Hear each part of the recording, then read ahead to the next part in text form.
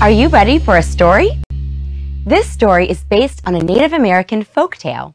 It's called Tenderflower and the Medicine. Long ago, there was a girl named Tenderflower. She lived in a village next to a big forest. Every day, she walked with her dog, Tick, into the forest. I know this forest so well, she said. I can walk through it with my eyes closed. In the winter, snow fell over Tenderflower's village. Snow covered the forest trails, but Tenderflower still walked in the forest every day. One morning, Tenderflower heard the sounds of coughs and sneezes coming from inside the village homes. Tenderflower's father looked worried. Many of our people are sick, he said. They have fevers with headaches and stomach aches. This is a very bad sickness. Soon, everyone in the village was sick, even Tenderflower's family. Only Tenderflower remained healthy. Tenderflower's father called to her from his bed. We need medicine, he said. Go to the village on the other side of the forest. Ask the people of the village for help. I cannot go myself. I am too sick. Tenderflower called to Tick, and they ran into the forest together. They ran through the snow like forest animals. They ran so hard and fast, they didn't even feel cold.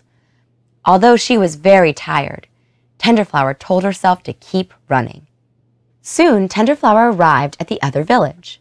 She told the chief about the sickness in her village. Take this medicine, said the chief. It will help your people. If they are weak, give it to them yourself. Thank you, great chief, said Tenderflower. Tenderflower put the medicine bag around her neck. She did not stop to eat or to drink.